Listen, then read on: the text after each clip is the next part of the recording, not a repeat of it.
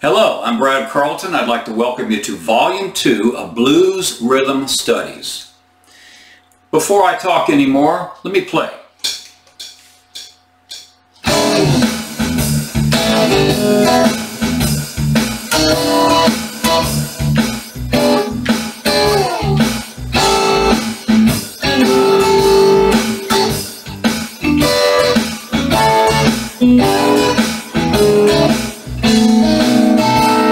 You